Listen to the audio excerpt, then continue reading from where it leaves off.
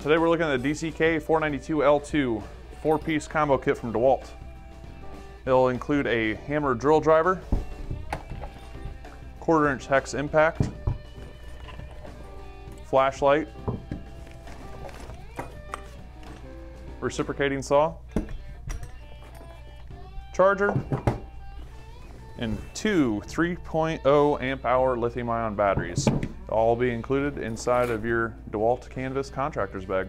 This is a DCD 985 20 volt max hammer drill driver. It includes a three speed metal gear transmission, as well as a side handle and all metal chuck.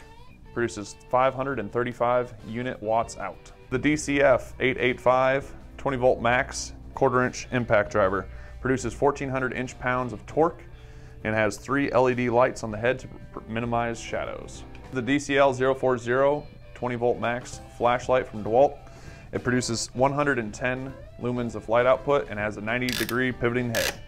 This is the DCS 380 20 volt max reciprocating saw with a four position keyless blade clamp and a 3000 strokes per minute motor.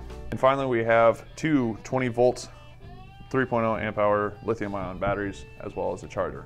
Pick it up today at toolbarn.com.